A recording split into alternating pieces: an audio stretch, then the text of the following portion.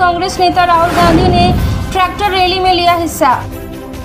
JDU को 122 सीटें दी गई हैं, उनके अंतर्गत पार्टी को सात सीटें दी गई हैं। बीजेपी के पक्ष में 121 सीटें हैं, इसी के अंतर्गत विकासशील इंसान पार्टी को सीटें दी जाएँगी। बिहार के मुख्यमंत्री नीतीश कुमार। सेना दिवस से पहले आज हिडन एयरबेस पर वायु सेना दिवस परेड की रिहर्सल के दौरान फ्लेयर फायर करता एक लड़ाकू विमान।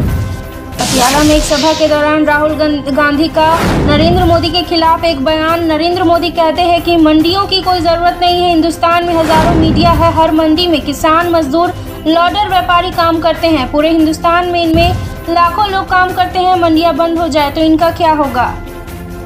हरियाणा के डिप्टी सीएम दुष्यंत चौटाला ने ट्वीट कर बताया, उनकी कोरोना की रिपोर्ट पॉजिटिव आई है। सबसे आग्रह है कि बीते कुछ दिनों में उनके संपर्क में आए लोग अपना ध्यान रखें और डॉक्टर से सलाह लें। बिहार में नीतीश कुमार, एनडीए के नेता हैं उनके नेतृत्व में बिहार में गठबंधन की सभी बातें हो रही है। बिहार में बीजेपी उनके नेतृत्व को पूरी तरह से स्वीकार करती है।